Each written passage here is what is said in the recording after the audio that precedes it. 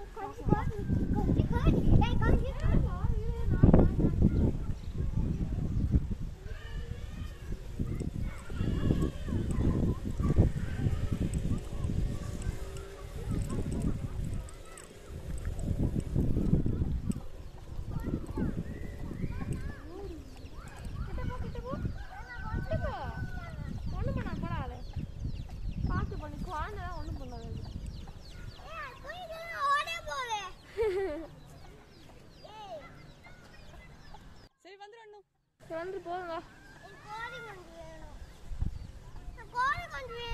வீட்டுக்கு போய் வாங்கிக்கலாம். வாங்கிக்கலாம். தா அம்மா கிட்ட சொல்லி வைக்கிறேன் வா.